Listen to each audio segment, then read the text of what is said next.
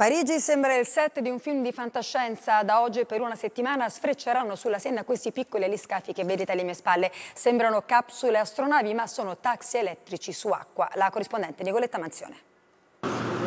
È la macchina del futuro, auto volante. Sfreccia sospesa sull'acqua, si chiama Sea Bubble, un piccolo gioiello di tecnica e creatività sviluppato da una start-up per il trasporto fluviale di passeggeri. L'abitacolo assomiglia a quello di una utilitaria, c'è posto per quattro persone più il conducente e ha una velocità massima di 30 km l'ora. È un'imbarcazione elettrica comandata con un computer che controlla l'altezza del volo, la rotazione laterale o verticale e anche in caso di onde o vento la capsula torna automaticamente sulla sua rotta, ci spiega Anders Bringdahl, fondatore della start-up. Per ora sono stati costruiti sei prototipi, di cui due definitivi, che potrebbero diventare operativi nel 2020 come taxi del fiume.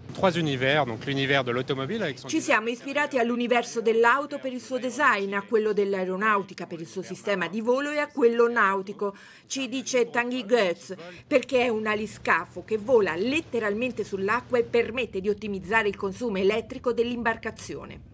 Sulla Senna l'avanguardia di una nuova forma di mobilità sull'acqua. Non fanno rumore, non inquinano e le batterie si ricaricano ad energia solare. Forse le utilitarie del domani.